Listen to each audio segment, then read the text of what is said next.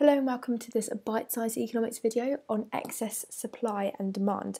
Now before we get started you need to know this important concept called market equilibrium which is shown right here on this lovely little graph.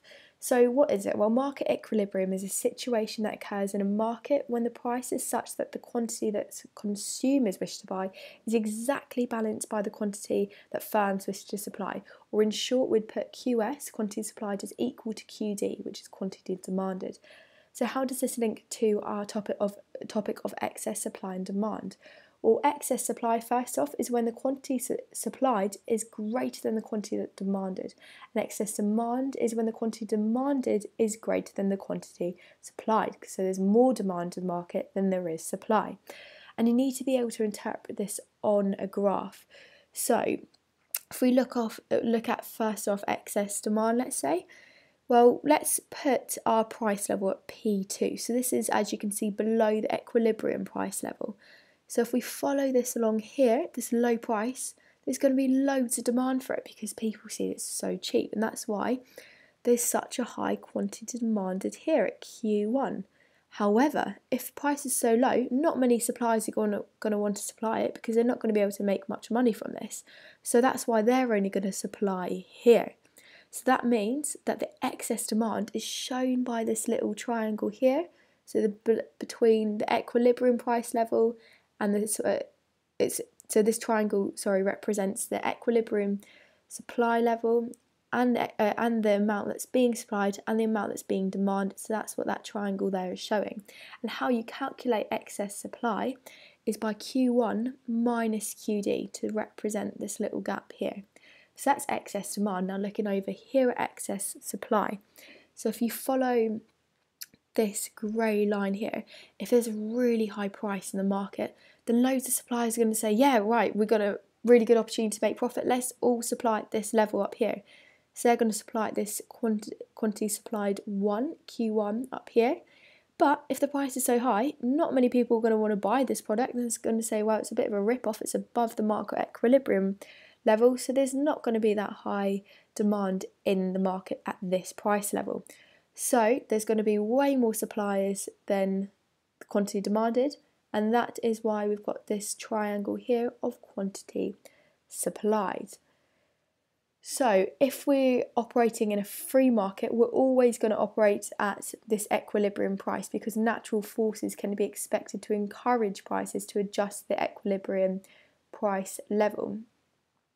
And sometimes we do have government um, and sorry, just linking to government intervention as well. Sometimes because they don't have the best information about our markets, they might say, right, yeah, okay, we'll just um put in like loads of these sign, loads of these lampposts. Everyone needs some lampposts.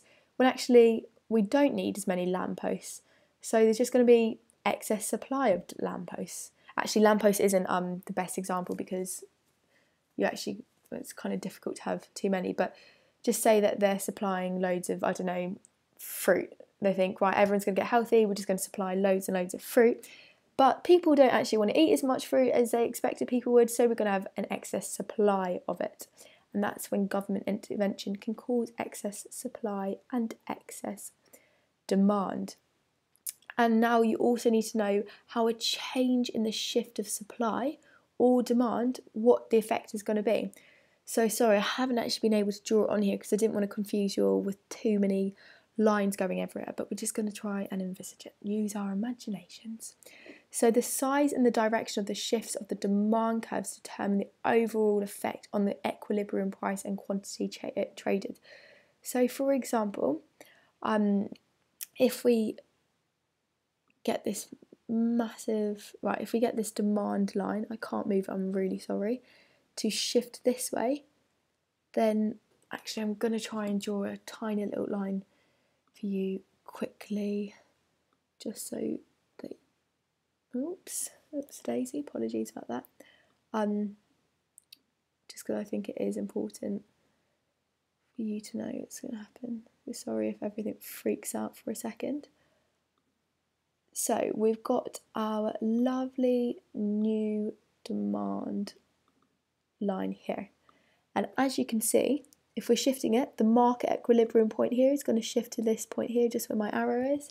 And excess supply here, if they do supply to, if they do continue to supply at this price level, it's going to cause a, a smaller excess supply because the whole market equilibrium price has jumped up, which means that this price jump to P1 isn't as big.